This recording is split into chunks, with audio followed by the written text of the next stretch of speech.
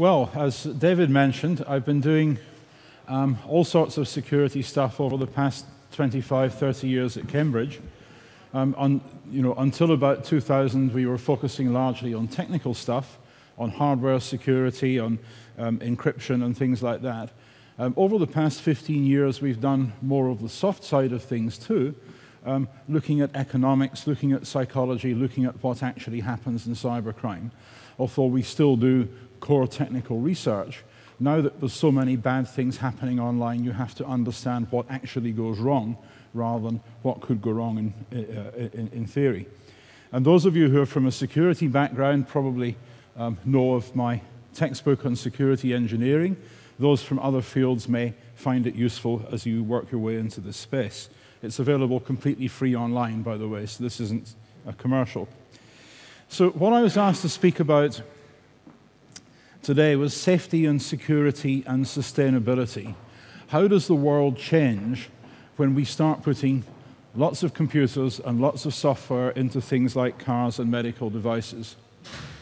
Now, the impetus for this research came from the European Commission because the guys in Brussels regulate safety in all sorts of devices um, cars, railway signals, aircraft, um, even children's toys.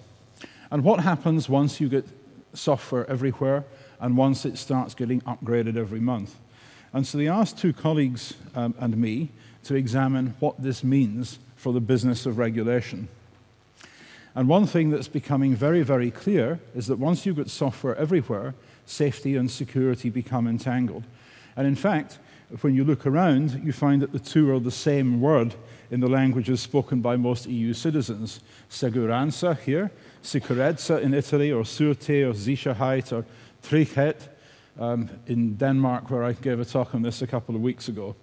It's English is the odd, the odd language out. Um, English is the language that makes a distinction between safety and security.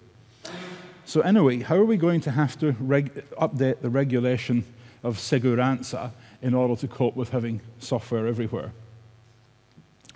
Well, as a means of background for this, markets do safety in some industries better than others.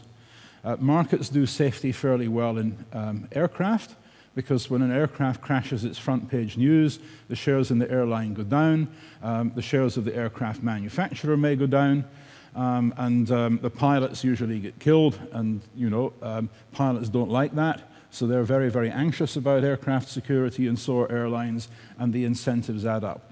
With medicine, it's a bit less obvious uh, because if you die as a result of a software or design error in a, a,